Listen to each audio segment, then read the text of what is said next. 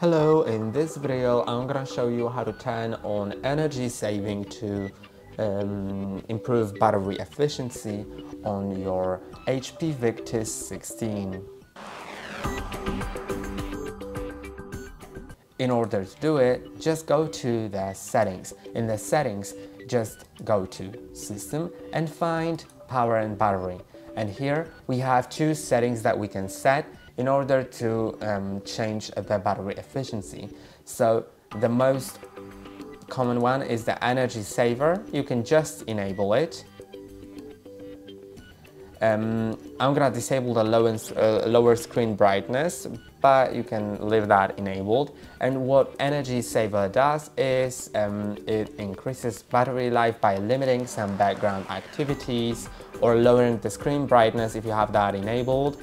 Um, if you disable the always use energy saver, you can also set a certain percentage that will make your laptop turn on energy saver automatically.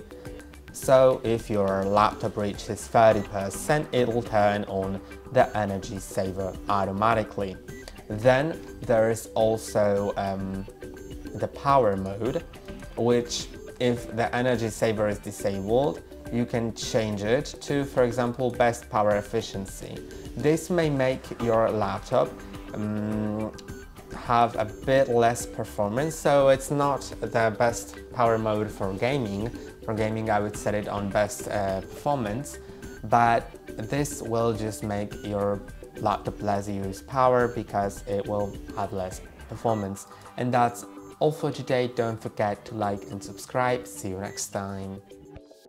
Bye.